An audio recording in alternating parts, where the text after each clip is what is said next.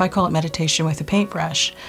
I was uh, born and raised in Dunnville. My dad got really ill quite suddenly, and it was a very traumatic time for me. And I started painting as if I was just being led to it. I just got one of those canvases out one night and started painting.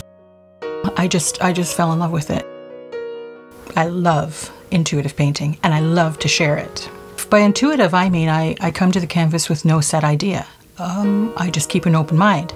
And so I just have fun, just like kids would, uh, laying down a base of paint. I love the workshops that I actually call play shops. I'm more, more there to encourage art from the heart, which is what I call the play shops. I love when people say, I can't paint. I love that. Please come to a play shop everybody can paint. It's um, it's sort of our birthright, I believe, to be an artist. People who think that they can't paint or have never done anything creative can come lay down some paint and really quickly see something emerge. There's a safe uh, environment created there to just explore and paint and have fun. There's no mistakes on that canvas, absolutely none. And if you actually think that there's a bit of a mistake there, cover it with white. Let's start again.